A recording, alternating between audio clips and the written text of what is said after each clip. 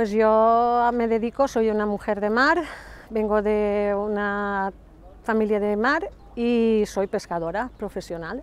Y necesitas ser, eh, tener la vocación para poder emprender este trabajo, porque si no resulta una profesión bastante dura. Nosotras, eh, las mujeres de aquí del puerto de Gandía, nos constituimos en una asociación para visibilizar nuestro trabajo y la verdad sí que estamos mm, recibiendo apoyo de las instituciones. El mayor obstáculo, el tiempo. El tiempo que a veces necesitamos y que no tenemos.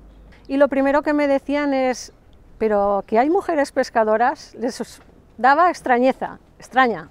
No hay gente que quiera dedicarse a la pesca porque son muchas horas y no tienen una compensación económica fija todos los meses tenemos que adaptarnos al nuevo sistema de pesca que viene y eso va a llevar una temporada. Eso no se soluciona con un año o con dos, se necesita tiempo.